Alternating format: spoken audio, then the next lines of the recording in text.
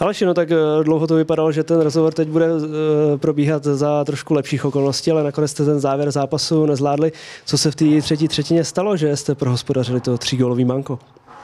To je už několikátý zápas, co my máme dobře rozehraný zápas a prostě se bojíme hrát, neděláme to, co si řekneme šatně a toho pramení, že soupeř je na koni a celou třetinu nás skoro motá. Mm, ukázala se opravdu možná ta slavistická kvalita, která má velké osobnosti v eh, prvních dvou útocích, protože opravdu v třetí třetině vás skoro k ničemu nepustili, i když v prvních dvou třetinách vlastně vůbec nebyli vidět. To určitě, ta kvalita tam byla znát. Vlastně třetí třetinu jsme skoro nic neměli, jen pár těch přesilovek a soupeř ukázal, že je o kousek lepší jak my. Jak, jak jsi osobně těšil na zápas proti svému bývalému týmu a jak si zaužil se ptát nebudu, protože samozřejmě po tom průběhu asi spokojenost na té straně moc není.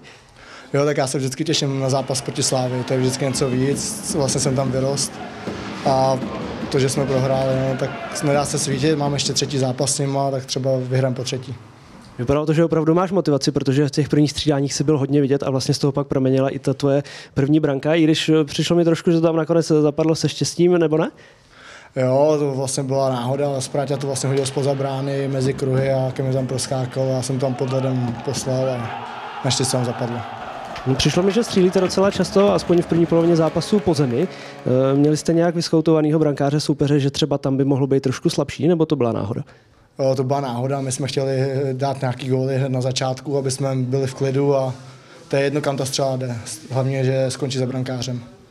Jak zapracovat na těch závěrech zápasů, protože ve třetích třetinách opravdu z toho statistického hlediska jste eh, nejslabší a máte hodně zápornou bilanci ve třetích třetinách, ať co se týče skore nebo i těch výsledků. Eh, jak na tom zapracovat, aby opravdu jste dokázali jako tým dovíst ty dobře zhrané zápasy do vítězního konce? Asi se nebát hrát, eh, je to vždycky na nás, jak uděláme tu třetí třetinu, když se prostě zblázníme a přestaneme hrát, tak vždycky to dopadne takhle. My si musíme věřit celou třetinu a plnit ten plán, co si řekneme v šatně. Jak, jak jsi zatím spokojený se svým dosavadním působením tady v Šumperku, kam si vlastně před sezónou přišel? No tak vždycky to může být lepší, ale zase bych neřekl, že to je úplně nějaký propadák a vždycky na čem pracovat.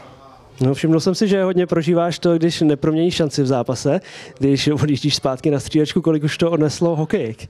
No, ještě žádné, já s hokejkou nemůžu mlátit. Bych dostal jak doma. A uh, poslední věc ještě nám objasní to uh, záhadný tvoje výměnu dresu a výměnu čísla vlastně během sezóny. No, já jsem se ptal, jestli je Elkový dres a oni mi řekli, že ne, tak jsem si objednal vlastně svůj a vzal jsem si 49, kterou jsem měl i na Slávě a dařilo se mi v ní. A má nějakou speciální symboliku ta 49? To už nechal pro sebe. Dobře, tak snad ti v dalším průběhu přinese štěstí a snad i přinese štěstí i celému týmu a zase to tam začne padat. Jo, díky.